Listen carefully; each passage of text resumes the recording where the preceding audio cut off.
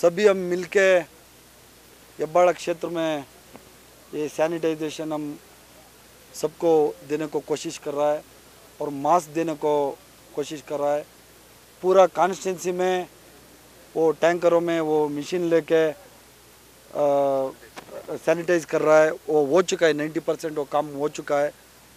और 100 tons 100 tons sugar wheat और rice इसका 100 टन्स का एक लाख केजी का हम इंतज़ाम किया है। वो सभी हम बांटने जा रहा है। ये मेरे काम के ये सभी हमारा वॉल्टियर्स हमारा कॉन्स्टिट्यूंसी में 200 आदमी हमको मेरे को साथ दे के ये सबको बांट रहा है। कोई ज़रूरत रहे तो उसका घर को ही हम ये सभी रेशन हम वो डिलीवरी कर रहा है। तो कोई फंड वगैरह नहीं मिला सर अभी तक? नहीं अभी तक कोई सरकार से हमको एक रुपया ही नहीं मिला। नहीं कोई गवर्नमेंट से हमको नहीं मिला। ये हमारा खुद का पैसा है। हम सभी लीडर का साथ लेके हम अभी आ, कोई पूर्व लोग है ना उस लोगों को हम सभी बांट रहे हैं। देखिए अभी पूरे वर्ल्ड में जो कोरोना वायरस फैल रहा है जिस तेज़ी से फैल रहा है उसकी हिफाजती के लिए पूरा लॉकडाउन किया गया आप सब जानते हैं।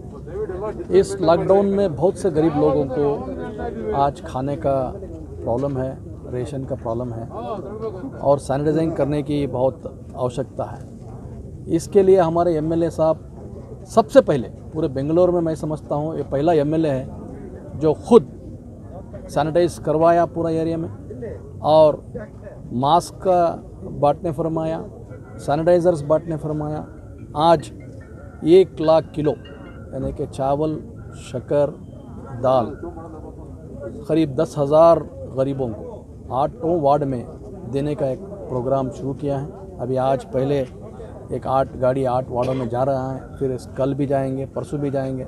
जो जो गरीब हैं जो जो बेवायाँ हैं, जो कुली करने वाले लोग हैं, उनको सहूलत हो ताकि वो घर से बाहर ना निकले और ये बीमारी को पूरी तरह से ख़ासकर कर्नाटक में और बेंगलोर में और ख़ासकर हेब्बाड़ में किसी की तरह का कुछ नुकसान ना हो। इसकी चिंता करते हुए हमारे एमएलए ने पूरे हमारे साथ, हमारे लीडरों के साथ, हमारे ब्लॉक प्रेसिडेंट्स के साथ ये काम शुरू किया है।